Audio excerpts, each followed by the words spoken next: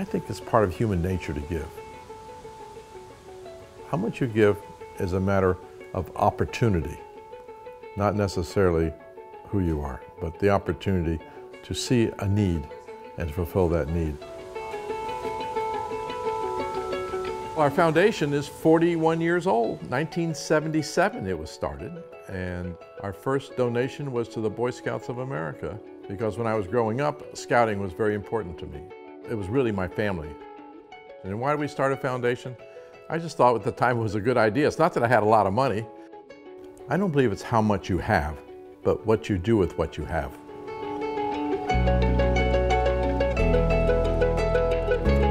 My father was a baker.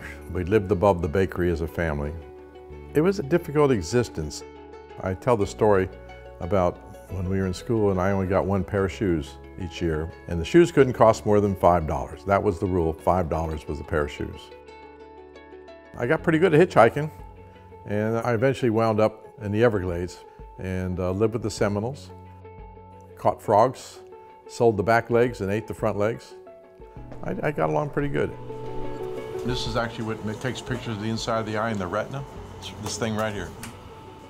When I first started my practice as an optometrist, 98% of all the lenses that were dispensed for eyeglasses were glass lenses.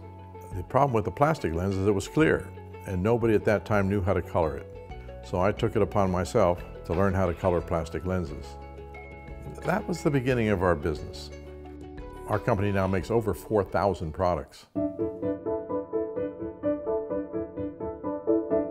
I've never really had fear. When I was in the Navy flying planes, you know, uh, uh, yeah, I had fear then. But day by day fear, I, I usually don't have. I don't fear business. I don't fear making decisions. And that's just, as the circumstances change, I change. I like my sign out here. Now, you're going to see what I call the graybeards who were our first deans of the university. President Alfonsín, who was the president of Argentina at that time, invited uh, a group of businessmen and university presidents to come to Argentina to help them with the economy. We spent a week there, and that's when Mitch Maidique, the president of Florida International University, said to me, how would you like to uh, be part of FIU? I said, if I come, I'm going to be doing something. I'm not going to be sitting around. He says, welcome to FIU. And from that day on, we have uh, been involved as the chairman of the board of directors, and then two terms as trustee of the university. What we want is this to be a learning community, and being a learning community, it should focus around the university, that they're seamless.